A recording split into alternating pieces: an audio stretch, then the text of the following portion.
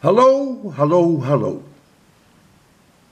Today is Saturday, November 11, 2023, early in the morning for me.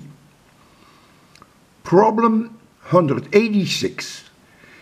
It's about fiber optics. This is not a very easy, but also not a very difficult problem.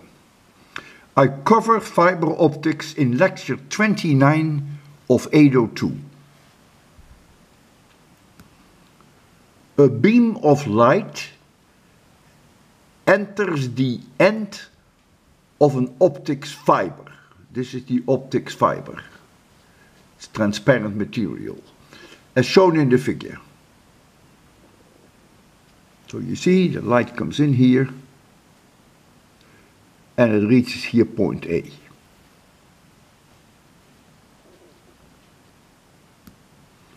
Show that there will be total internal reflection at the surface of the matter at point A, which is here.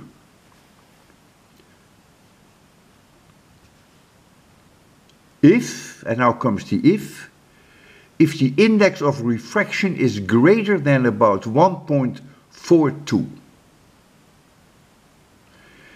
In other words, regardless of the angle alpha, this is the angle alpha,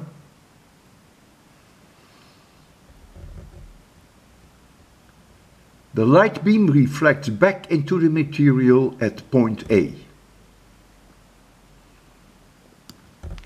Interesting problem. As I said, not the easiest, but it is by no means difficult. And of course, lecture 29 of 802 should do the job for you. We can't wait to see your solutions. I predict there will be at least 10 to 15 correct ones.